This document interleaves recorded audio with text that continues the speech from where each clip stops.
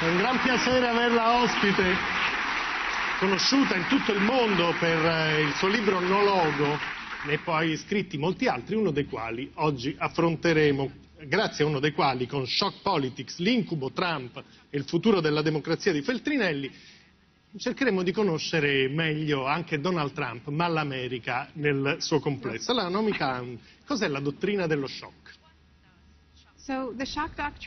La dottrina dello shock è una strategia che eh, molti politici purtroppo utilizzano per sfruttare dei momenti di trauma in cui siamo confusi, in cui il mondo cambia molto rapidamente, per portare avanti delle loro politiche che vadano a vantaggio delle aziende a scapito della gente.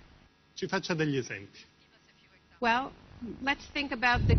Pensiamo per esempio alla crisi finanziaria del 2008, una crisi creata dalle grandi banche ma che poi è stata pagata dalla gente comune, dalla gente comune in Europa, negli USA, nel mondo, sotto forma di tagli ai salari, pensioni. Questo è un esempio di ciò che io intendo dire per politica dello shock. Lo shock è stata la grande crisi sfruttata per portare avanti un'agenda non per risolvere la crisi, ma bensì un progetto che ha aumentato le ineguaglianze e a vantaggio dell'elite. In questo quadro il suo libro si sofferma sulla figura di Donald Trump. Perché, cosa c'entra e ci spieghi come lei vede il Presidente degli Stati Uniti? Donald Trump è una macchina dello shock. Ogni giorno è un shock e lo vediamo Questo, tutti i giorni. si è capito anche in Italia. Perché è una macchina dello shock? Why is it? Questo è un nuovo metodo perché noi vediamo la follia, i tweet, che cosa dirà in futuro?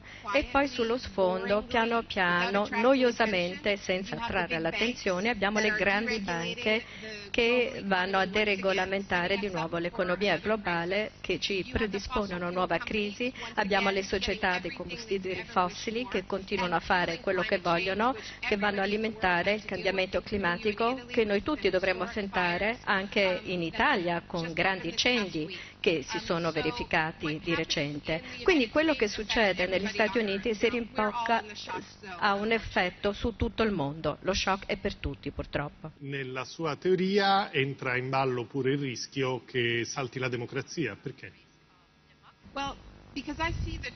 Perché l'amministrazione Trump io la vedo come un prendersi possesso del governo da parte delle aziende.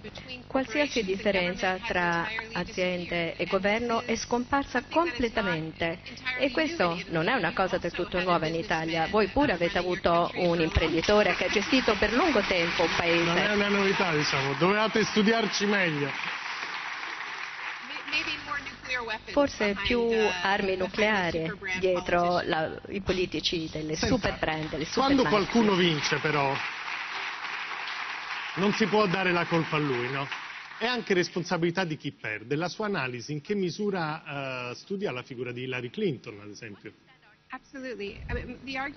Sì, infatti quello che io sostengo è che Trump non ha vinto le elezioni, ma Clinton ha perso le elezioni. E questo è quello che succede eh, con i partiti centristi e neoliberal in cui abbiamo l'ascesa di un demagogo sulla destra che si avvale anche di sentimenti di xenofobia contro i più vulnerabili, ma la figura dei centristi non riescono a offrire delle reali soluzioni perché ci sono delle tematiche agganciate a questa rabbia. L'unico modo per battere Trump è di avere un programma economico che voglia eh, incontrare le esigenze delle persone, l'assistenza sanitaria, l'educazione sostenibile. Quando mh, lei scrive la politica odia il vuoto, quindi quando i temi non sono riempiti di speranza si riempiono di paura, che significa?